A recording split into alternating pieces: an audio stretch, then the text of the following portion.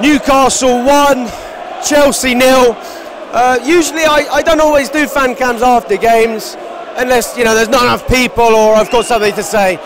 Uh, there's a lot to say. There is a lot to say after today. Um, oh. It's weird, man. It's weird. I mean, we, we, we battered these guys 3 0 last season. 3 0. We had a different owner, a different manager, a, a different structure, a structure.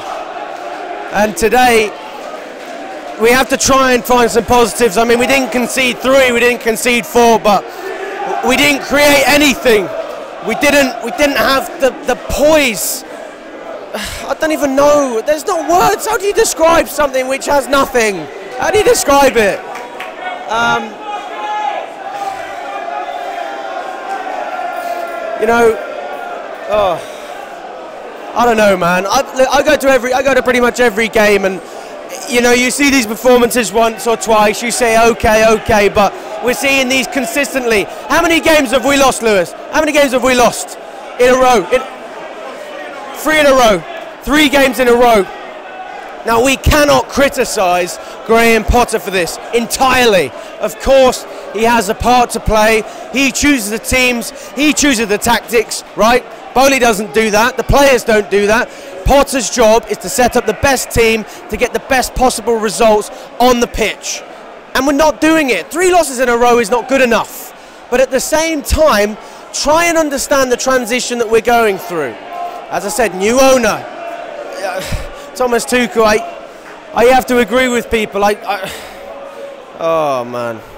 I wish, I wish Thomas Tuchel were here, but he's not. He's gone. He is gone and as fans we have we have no choice but to accept it and, and back Graham Potter who is also a superb manager by the way. But he is not the end product. There is still a way to go for him to improve. And uh, we, we saw it at Brighton. Things don't always click straight away.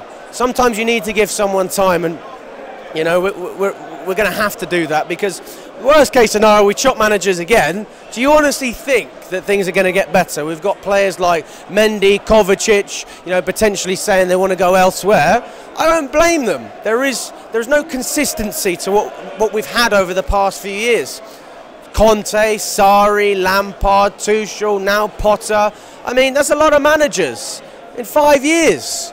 Um, so no, it's not really a surprise that we lost but it, it, I, I, felt that I do feel the need to vent. You know, I feel the need to vent because people are going to come at Potter and say this is all on him. I don't, I don't believe that. I don't.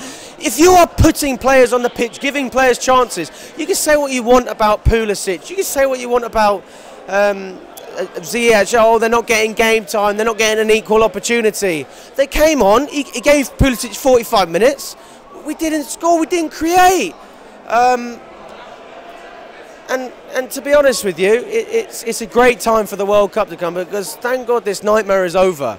Um, yeah, I don't know, man. I don't want to be fake and swear and blah blah blah, but I cannot accept these results consistently with these players.